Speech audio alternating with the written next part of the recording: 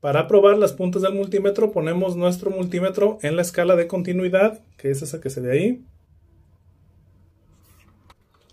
Y al juntar las puntas se debe de quitar ese 1 poniéndose una numeración en la pantalla y se debe de escuchar un sonido si las puntas están bien. Ahí está numeración y sonido. Pasó la prueba de continuidad. Ahora vamos a medir la resistencia de los cables que tienen las puntas del multímetro.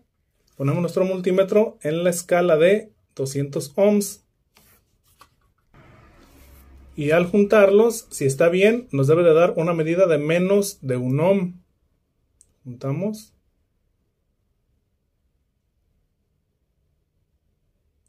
Ahí nos está dando 0.6 ohms. Está bien. Suscríbete a Electrónico Automotriz desde cero en YouTube, Facebook e Instagram.